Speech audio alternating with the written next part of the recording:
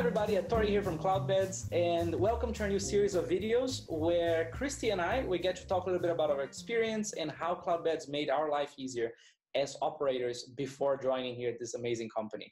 Kristy, what's up over there? Hi, we're pretty good here. We're in Munich, that's not so sunny today, um, at one of the properties. So I am an independent hotelier with two properties, one in Peru and one in Munich it means that having a cloud-based solution is a lifesaver. Um, and today we're going to talk about the dashboard, which is one of the things that has really made my life a lot easier. Um, but before we get into that, um, why don't you give us a little bit of your background?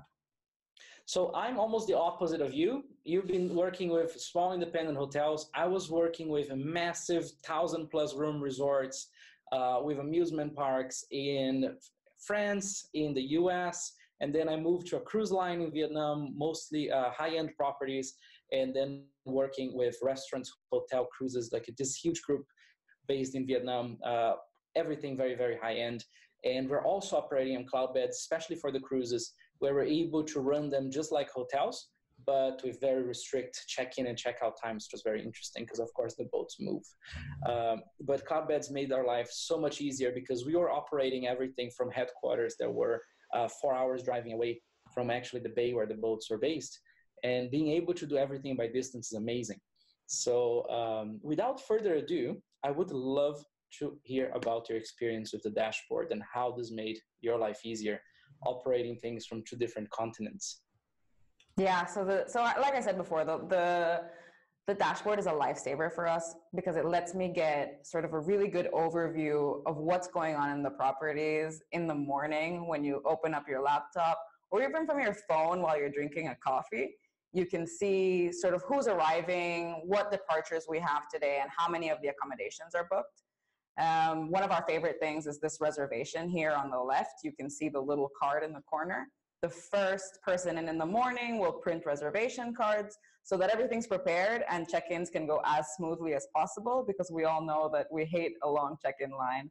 Um, so this has really helped reduce that, especially us who came from pen and paper before. Um, so here you can see all arrivals. This needs to be empty by the time the day is done. So all of these people should have arrived and they should have been checked in. The same with departures. By the end of the day, departure should be empty and we should have everybody that has to leave the, the hotel should have left the hotel already.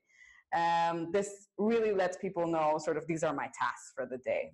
And this is one of my favorite things. What about you? What's your what's your favorite dashboard?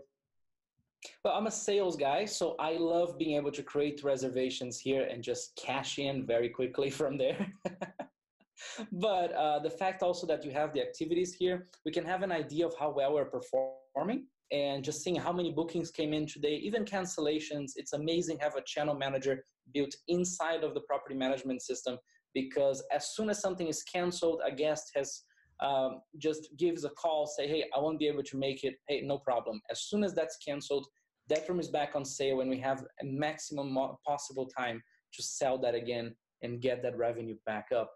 And then when it comes back a little bit more into a longer term planning, but not as long as reports, we can look at 14 days in the future and just say, hey, what do I need to do in this 14 days? Like I see here, Friday the 13th, of course, we're not doing very well because it's Friday the 13th.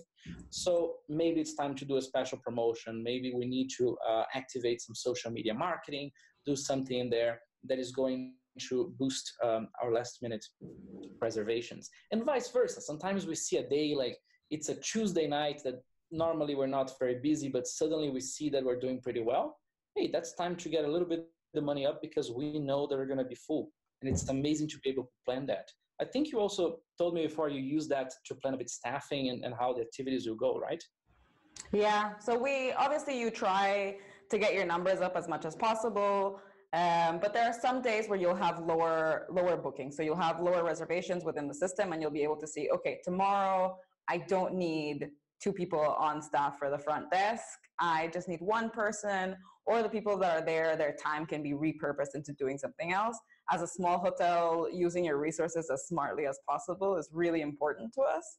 And then also when we have days that we see it's kind of crazy um, and it's going to be super full for a week, then we make sure that we staff accordingly. so that we have people checking in, but also someone who can attend to guests so that you're never sort of just waiting in a line. And this sort of helps the, the guest experience. And also, Cloudbeds in general has allowed us to sort of free our employees from doing menial tasks to be able to talk to guests and make sure that the guests are happy. And that's been a total game changer. And that's ultimately what we're here for, right? We're here for the guests, not to spend time just typing things on a machine.